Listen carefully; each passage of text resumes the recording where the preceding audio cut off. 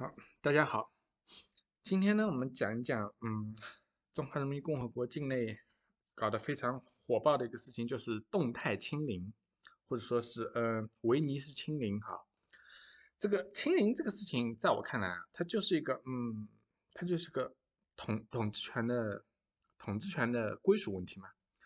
呃，你想，维尼熊一尊，它是它是它是定于一尊的，是，对吧？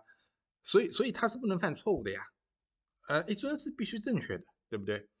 呃，那既然一尊是必须正确的，那么这个清零或者说防防疫是他亲自部署、亲自指挥的，对吧？当然也是不能犯错误的呀，因为，因为，因为文尼熊他是不能犯错误的，所以，那他所制定制定的政策或者他所想要做的事情也是必然是不能错的。呃，那 OK。那这是第一级，第二级，呃，具体的、具体的，嗯，具体的，比如说行政官僚或者说是行政机构接到他的指令以后，那需要做一些什么样的事情呢？这个、这个、这个是没有办法、没办法操作，很很难操作的嘛。就是说，呃，指令非常模糊不清，因为指令是什么清零，呃，可防可控，这个具体怎么操作？你你给我一个操作手册啊，就是说下面的行政。机构或者是下面的操作操作系统啊，它是需要一个指令，需要一个像说明书一样的指令。你给我说明书一二三四五怎么做？但是但是没有，那怎么办呢？那那那我当然是不做不错，多做多错，对吗？呃，我什么都不干，那至少我是不会错的。那如果我干的越多，那有可能错的越多，因为上头是什么意思，我是不知道的呀。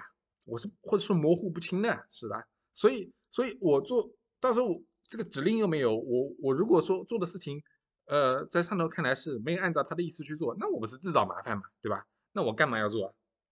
所以，呃，到了具体的行政机构或者说是到了具体的操作操作机构操作系统，它必然就是不做不错，少做少错，呃，做的越多错的越多。那 OK。那，呃，这一集这是第二集嘛，相当于是，它是介于，呃，统治者和韭菜之间的，对吧？他，他当然他是不想错的呀，因为他错了，呃，统治者是可以惩罚他的，但是韭菜是拿他没有办法的，对吧？所以说，对于统治者而言。这一层，第二层应该怎么样呢？应该什么都不做，或者说是呃，或者说是所有的所有的一切都是按照您您老人家的意思来做，那才是最好的一个策略。那对于韭菜当然是不同的策略了，因为对于韭菜而言，他们是统治者嘛，对吧？他们是有相当于是有一些权利的嘛，对吧？当然是，所以说所有的错当然是你韭菜的错了，对吧？这是很简单的一个统统治顺序的问题嘛，一二三这样下来的嘛，对吧？那。你你你，如果你如果觉得，呃，这个状态不好，那你你你做点什么嘛，是吧？你做点什么，让我们觉得有有必要付出相应的代价来来维持维持你更好的待遇嘛，是吧？所以说，呃，这个这个清零政策其实就是一级一级下来的。当然，我我是简化了的，一二三就是第一层、第二层，主席是第一层，当然那个白卫兵不可能是第二层了，反正它是介于主席一尊和。韭菜之间的嘛，对吧？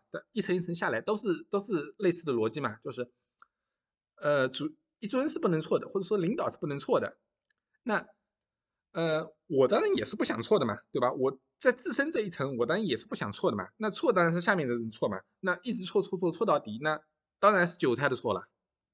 这就是很简单的一个统治顺序的问题嘛，就是第一层统治第二层，第二层统治第三层，三层统治四层，五六七八九，到最后面一层就是韭菜嘛。所以，嗯，无论说，嗯，你找出什么样的借口，或者找出什么样的数据，这、这、这、这，我觉觉得没什么意思啊，真的没什么意思。你如果真的想要，真的想要摆脱这种状态，那就是最好的一个办法，就是打出战损比来。就就像我一直提倡的，你五月想要获得更好待遇，就唯一的办法就是，也是最有效的办法，就是打出一个有效的战损比，或者说是打出一个有效的统战价值，让让。打到中国人怕了，或者说是打到中国人认为打你是不划算的，那五月就独立了嘛，对不对？好，今天就先讲到这里啊，我们下次再见。